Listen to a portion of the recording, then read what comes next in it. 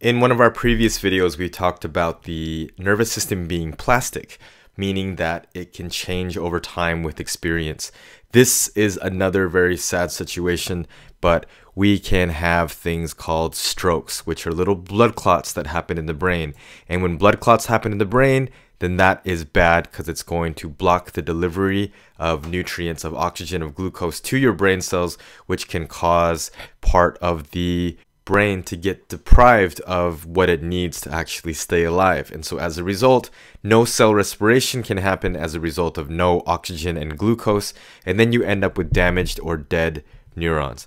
Damaged or dead neurons, that's not a good thing. That means you start to lose brain function. But one of the most amazing things is that in a lot of stroke victims, we find that parts of the brain, other parts of the brain, actually start to take on new functions.